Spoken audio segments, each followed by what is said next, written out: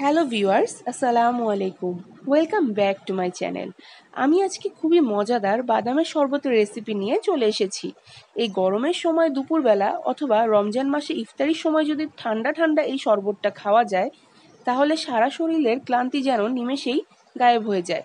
চলুন দেখে নেই শরবতের রেসিপি। তার আগে এখন পর্যন্ত যারা আমার চ্যানেলটিকে সাবস্ক্রাইব করেননি সাবস্ক্রাইব বাটনে ক্লিক করে আমার চ্যানেলটিকে সাবস্ক্রাইব করে নেবেন এবং বেল আইকনটি প্রেস করে পরবর্তী ভিডিওর আপডেট পাওয়ার জন্য আমার চ্যানেলের সাথেই থাকবেন।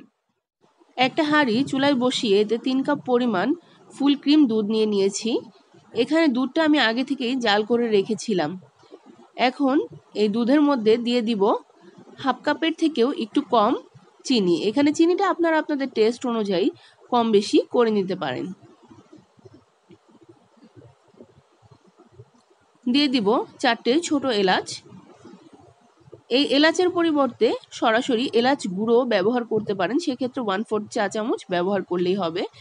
এখন দুধটাকে কিছুক্ষণের জন্য আবার জাল করে নিব। এতে করে দুধটা একটু গাঢ় হয়ে যাবে।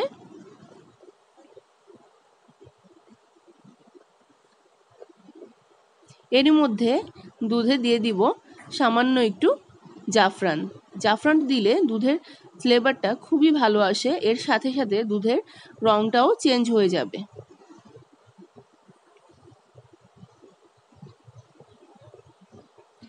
দিয়ে দিব দুই টেবিল চামচ বাদাম কুচি। এখানে আমি পেস্তা, কাজু এবং কাঠবাদাম সব কিছু মিলিয়ে একদম মি কুচি করে নিয়েছি। এখন দুধটাকে ভালোভাবে জাল করে নিব। দুই তিনটা বলক উঠেছে। এতে করে দুধটা অনেকটা গাঢ় হয়ে গিয়েছে। আর এ সময়ে চারপাশে যে মালাই জমেছে, সেটা আমি বারবার চামচ দিয়ে দুধের সাথে মিশিয়ে দিয়েছি। এতে করে শরবতের ফ্লেভারটা খুবই ভালো আসবে।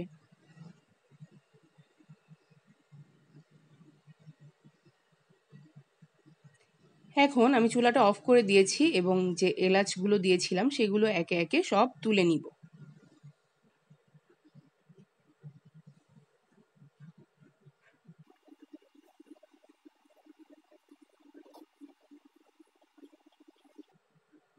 দুধটাকে এখন নর্মাল টেম্পারেচার আসা পর্যন্ত অপেক্ষা করতে হবে। এদিকে আমি একটা ব্লেন্ডারের জারে হাফ কাপ পরিমাণ বাদাম নিয়ে নিয়েছি।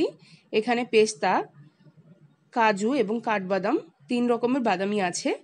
তবে এখানে কাজু বাদামের পরিমাণটা অন্যান্য বাদামের তুলনায় একটু বেশি আছে। আমি এখানে দিয়ে দিব এখন হাফ কাপ পরিমাণ আগে থেকেই জাল করে রাখা দুধ।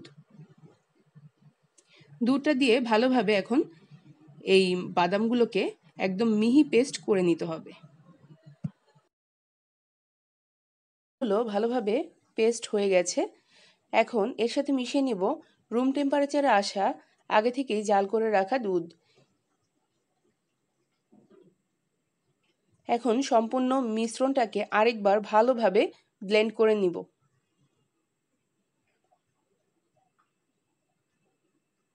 ভালোভাবে ব্লেন্ড করা হয়ে গেছে। এভাবেই আপনারা শরবতটাকে সার্ভ করতে পারেন অথবা ফ্রিজে রেখে ঠান্ডা করেও সার্ভ করতে পারেন।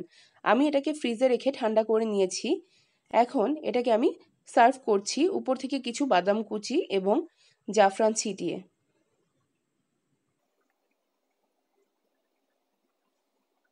ভিউয়ার্স তৈরি হয়ে গেছে মজাদার বাদামের শরবত।